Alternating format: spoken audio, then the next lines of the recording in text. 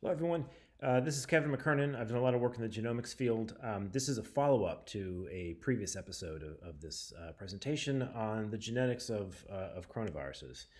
Um, so, if you haven't seen the April 10th video, please do. Uh, in that video, we looked at the genetics of, of SARS CoV 2 and noticed that uh, people have published that there's a 40 to 70 year gap from the most previous known ancestor known as rat G13. 40 to 70 years is a long time. Uh, we need to know what happened in that time frame. If there are other SARS coronaviruses that existed in the human population prior to December, those coronaviruses could be offering up uh, immune response in the human population to the existing one. And that's what we were hypothesizing, but we had no data at the time to really prove it. We just had a feeling that all viruses have ancestors unless they're made in the lab, and ancestors um, that, particularly if they're asymptomatic, travel very quickly through populations and build up immunity in the population. So, do we have any immunity in the population currently from prior coronaviruses that may be giving immunity to this one? If we do, then the transmission rate of this virus to the population is not going to follow R naught. It's going to follow uh, a different equation that people use known as RE. We're going to end up having a, a non-susceptible population that can't get this, and that's going to attenuate the exponential in, in, in the growth of this. This might be what's happening in the field. We're going to show you some data that may support this. It's still an open debate. Um, this picture here is somewhat emblematic of this. We have a very divided sky here, which is div divided in that there are people who are pro-lockdown and people who are anti-lockdown. Their heels are dug in and no one's agreeing. I want people to back up and just look at the data, all right? Uh, this is an important um, uh, detail, and let's see what the data says. Um, okay, so before we get started, um, one thing uh, to keep in mind is that, uh, as we mentioned before, coronaviruses circulate very, very frequently in the population. The common cold is a coronavirus. We have these every year. They're very seasonal. They come and they go. They affect different parts of the population differently. We do have some other data that's now emerging from a variety of petri dishes, if you will. Uh, we have cases where populations are incredibly contained, um, the Diamond Princess being one of them. Uh, we have also aircraft carrier, the USS Roosevelt, where everybody was tightly contained. And there is some assumption going on here that if they're tightly contained, or at least as contained as anybody can contain human beings, like prisons, uh, that everybody should eventually get it if those HVAC systems are circulating the same air. And this is truly something that's respiratory. Now, it is possible in all of these studies that the people in the Diamond Princess and the aircraft carrier in the prisons reacted with some level of quarantine and interventions. I, I, really don't know what those would look like in prisons or in tight aircraft carriers, but it's possible that some of those interventions prevented some of the p- people on those on those um, in those environments from getting disease. But I, I, highly doubt this. I'm very suspect that uh, you can take tight environments like that and actually maintain this virus, yet we still see it spreading through wide, uh, you know, open populations right now. All right, so in the Diamond Princess, there's about 80% of the people that never got it. In the aircraft carrier, there's around 82% um, that never got it. Uh, in the prisons, there's a very high percentage of asymptomatic people. Uh, there's a great place called the Marshall Project that I encourage people to see where they're tracking the cases in the prisons. Okay, this is probably a, a very, um, I'd say, worst case scenario, and that the prison population is probably vitamin D deficient. They don't get outside much. I don't think that's an environment that's really conducive to healthy immune systems.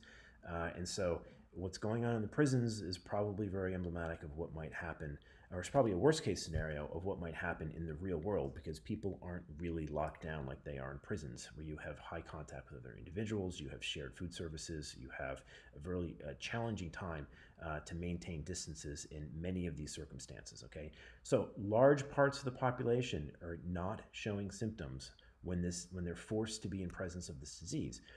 Um, so this is somewhat of a hint why aren't these people getting it? Should we be using the term novel? It's definitely novel from an RNA sequencing standpoint. That does not necessarily mean that it's novel from an epitope standpoint.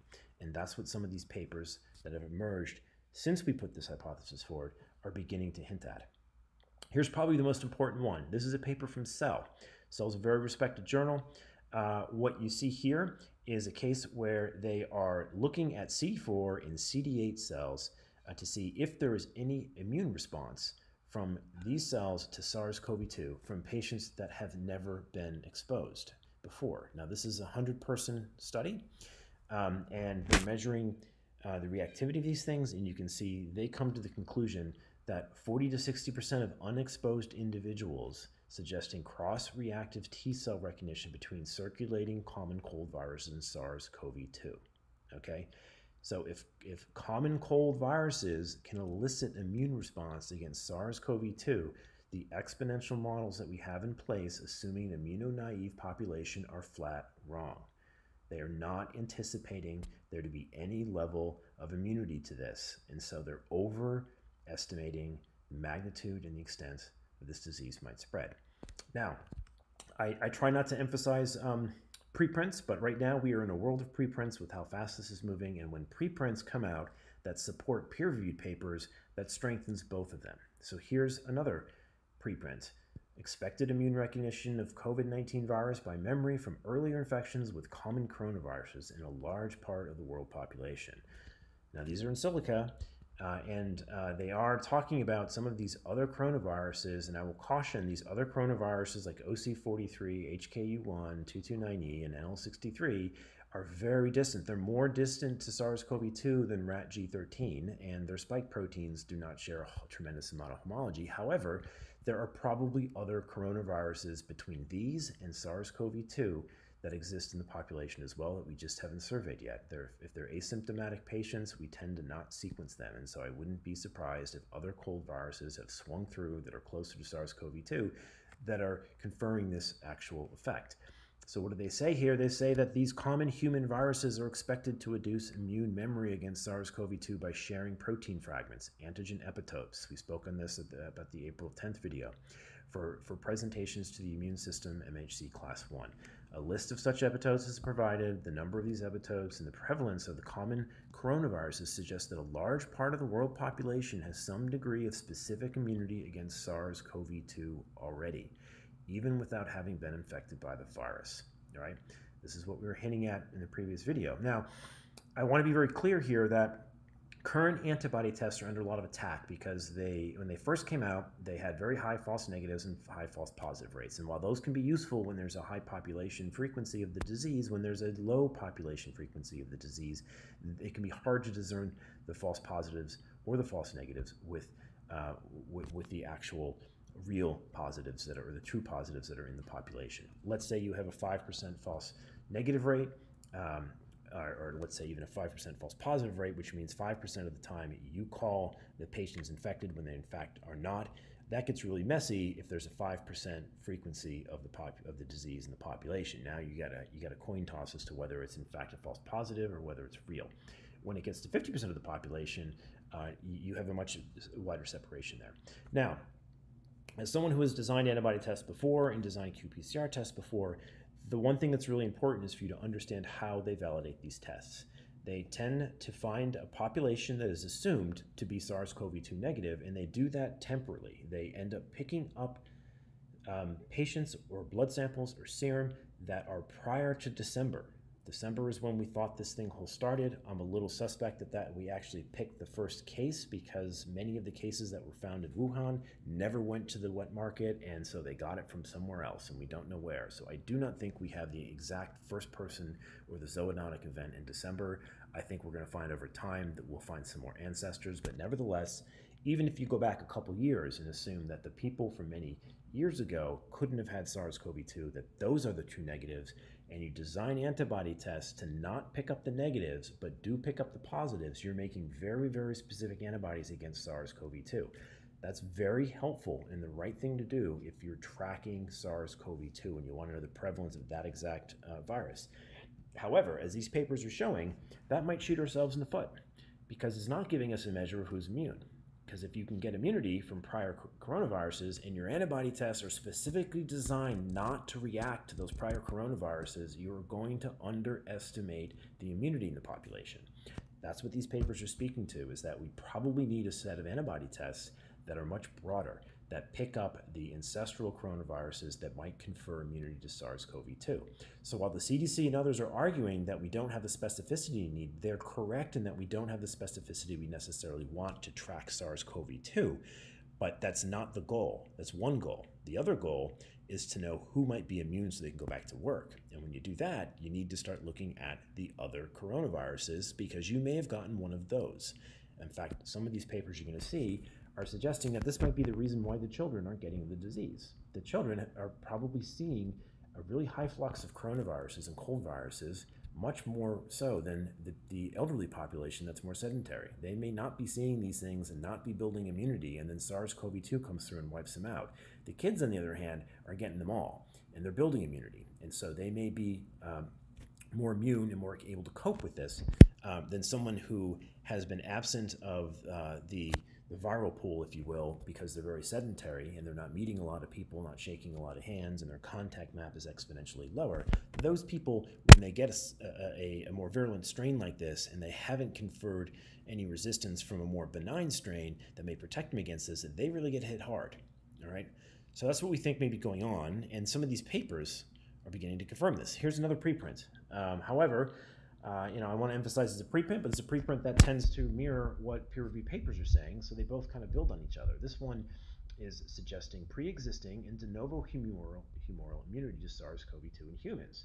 HCoV. HCoV is another uh, human coronavirus that is a cold virus. This H, HCoV patient sera also variably reacted with SARS-CoV-2, S, a nucleocapsid protein, but with S1 subunit or the receptor binding domain of an S of S on a standard enzyme immunoassay. Immunoassays are like ELISA assays. These are things that test for antibodies. Notably, HCoV patient sera exhibited specific neutralizing activity against SARS-CoV-2 pseudotypes according to levels of SARS-CoV-2 S-binding IgG and with efficiencies comparable to those of COVID-19 patient sera. So historical patient sera is exhibiting neutralizing activity against SARS-CoV-2. Third paper, all right, that's showing this. There's more. Uh, I can dig up a few more of these. Um, here's one that's a little mixed on the topic, but it also is, is uh, getting back to these same points, uh, that uh, it's conceivable that children and infants have primed mucosal innate and IgA antibody responses due to their frequent upper respiratory tract infections, therefore respond preferentially in this manner to SARS-CoV-2 infection. This hypothesis might also explain why children rarely present with symptomatic SARS-CoV-2 infection. Okay. Um, now, this paper also pointed out that some of those other historical coronaviruses that we've documented don't share very similar spike proteins, and, and uh, but but that's that's that's that's an important point. But there may be ones we haven't measured that are more closely related to SARS-CoV-2 that do. Um, and in fact, if you look at these particular um, ancestral coronaviruses, the ones that are spoken about here, they're, they're actually less related to the current virus than, than rat G13. But they're important to study. Uh, and in some cases, they're, they're, even those are providing immunity. So um, this is getting more interesting as uh, as the antibody tests roll out, we're seeing we're seeing a much higher prevalence than we ever anticipated. That's certainly what we were predicting from the phylogenetics of this that the antibody tests would come back and be high, and they're higher than we even we anticipated. So that's a good that's good news. More people have this, and, and not as many people are actually. Uh, that, that, means the fatality rate is actually lower because the denominator is much bigger. There's more people that have seen this. That's good news. But there's even better news, which is that prior cold viruses, which aren't being picked up I should say that in air quotes because there's a lot of different antibody tests out there, and I don't presume to know what they all pick up. But it, I have designed these tests, and you need to run exclusion criteria on these tests and demonstrate that they don't hit MERS and they don't hit SARS-1. And when you do that, you're enriching for antibodies that are very specific to SARS-CoV-2, and they probably don't pick up these ancestral cold viruses. Um, okay, so there's also an interesting seroconversion paper in healthcare workers. Uh, which is uh, another you know piece of the puzzle. Here they're showing prior symptomatic illness generated quantitatively higher antibody responses than asymptomatic seroconversion. Seroconversion rates were highest among those workers in housekeeping, acute medicine, general internal medicine, and lower rates observed in participants working intensive care and emergency medicine. So, if you got a disease that felt or matched the symptoms of SARS CoV 2, but it was before December, and therefore everyone has been shouting at you that it couldn't have been SARS CoV 2, it may not have been SARS CoV 2. It may have been one of its ancestors. And those ancestors seem to give you better antibody response. Okay? They're saying if you had prior symptomatic illness like this that wasn't SARS CoV 2, you may have get higher antibody response to SARS CoV 2. So again, your history of the immune repertoire here is uh, is like a workout for your immune system getting ready for this one. All right, so you know people who may have had uh, you know symptoms like this back in October and November may have fared better if they actually got SARS. All right.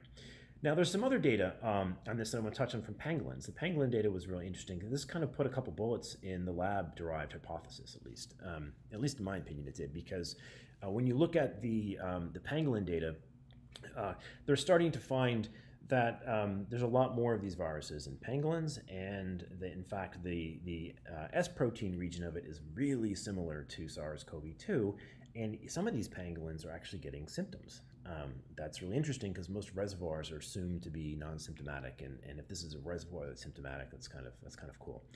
Um, so I encourage you to look at this paper because it shows you that these things do exist, and if they do exist with very high homology to the spike protein, well, then we don't necessarily need a lab-derived hypothesis for this to exist. Nature was capable of making this on its own. This doesn't rule out that it could have been made in a lab, but it certainly presents an Occam's razor that if nature can make these things on its own, that's probably where it came from. Um, yes, there is the technology to make these things in the laboratory. That is completely possible. I've not seen convinced evidence that that's exclusively where it could have come from, and there's plenty of evidence of Mother Nature making these viruses very, uh, very well without any of our help. Okay, so uh, if it's not derived from a lab, it has to have ancestors. All right, if it has ancestors, those ancestors if they've gone unnoticed, are likely asymptomatic because we tend to not sequence things that are asymptomatic. So we may have had lots of asymptomatic SARS like viruses running around the population, priming our immune system for this puppy, and that would explain why the models are falling short of their morbidity. Uh, they're falling a lot short of the morbidity. Now, so here's another pangolin data uh, paper that's really cool. I encourage people to read it. Um, and this is the one pointing out that the receptor binding domain with the S protein of the pangolin is virtually identical to what's floating around now. So those papers that were suggesting this S protein was so special that it had to be human made are kind of deflated a little bit by this paper. This paper kind of shows that Mother Nature is quite capable of making these things all on its own. But I also want to point you to the fact that they're demonstrating that some of these symptomatic pangolins have an antibody response to SARS-CoV-2 like viruses. So they used some antibody tests that are used to measure SARS CoV 2 and notice they popped hot on these pangolins. And it's not the same virus, but it's close. Once again, another example that since these things share epitopes, other viruses can in fact give us immunity to this one. So the term novel is, I think, a little bit of an abused term in the news that's trying to conjure up a lot of fear.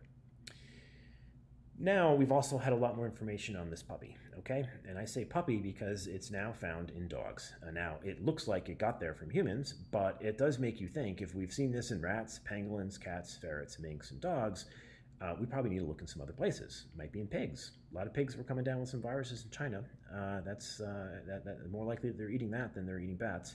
Um, whales and marine mammals have very similar ACE2 receptors, and a lot of those things end up in wet markets, even though they shouldn't.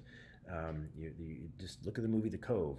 There's a lot of people that actually eat uh, dolphins. So um, horrible story, but it, it, does happen in some of those wet markets. So that could be another source. Complete conjecture, but uh, if it's this promiscuous, you have to stop and ask: Did this jump to humans in December and suddenly achieve zoonotic plasticity that can go everywhere? Or have these been bouncing around throughout time between all the different mammals? I, I'm, I'm, I, I suspect it's the latter. I don't have evidence for it, other than the fact that now that it's in humans, it seems to be going everywhere else. Uh, I am somewhat skeptical that lightning struck in December and made a virus that suddenly is this promiscuous. I suspect its ancestors were fairly promiscuous, but were not did not present symptoms that caught our attention to make us go look for more of it. I think these things are um, happy to move to many different mammals that have ACE2 receptors, uh, and they've been doing so back and forth for probably for quite some time. But that's just my personal belief. Um, we need more data to really confirm that. Uh, I'm, I'm just very suspect of someone winning the lottery and having sequenced the, you know, the first person that they ever sequenced in Wuhan happened to be the zoonotic event. I think that is uh, unbelievable. Um, there's some other resources I would encourage people to look at uh, here. There is some great work from Michael Levitt, who has been demonstrating that this is not following an exponential curve, and there is something putting the brakes in the spread of this, and he's very suspect that it's the lockdowns. I'm also suspect that it's the lockdowns. I've seen a lot of those lockdowns occur too late for this to matter. The reason for that is we usually invoke the lockdowns when we see the um, uh, the nursing homes start to have high fatality. Well, when the nursing homes have uh, have uh, you know high fatality, the cat's out of the bag. That's a part of the population that gets the disease last, um, as they're the least, um, they're the most sedentary. Uh, what the people who tend to spread this are, are asymptomatic people who have high exponential contact maps, people that are up healthy, don't seem to have symptoms, don't have any reason to lock themselves down, and are mingling and moving around before there's a lot of um, fear of the spread. And then when we start to see the mortality, you know, come up in the elderly population, put the brakes on, it's too late. Uh, in fact, removing these brakes doesn't seem to be expanding the number of, of mortality either, which is another sign that the lockdowns are, uh, are really just for show. Uh, and uh, I don't think they're actually having a, a, severe impact on the progression of this disease. What I think is having a severe impact on the, the, on the progression of this disease is the fact that we didn't anticipate these antibodies to give us any immunity, and there's a large number of people out there that are asymptomatic um, that are not coming down with the disease, probably due to this uh, prior uh, exposure. Uh, there's a, a, few other podcasts here I turn you to. They'll give you some other perspectives. I think they're um, Sunetra Gupta has some really interesting points to say here. Encourage you to, to look at that. Um, also, the basic reproduction number here. Uh, this is good to know. We have had R naught in the media nonstop, but that R naught assumes an immuno-naive population, and we now know we don't have one. Uh, so we should not be using R naught anymore.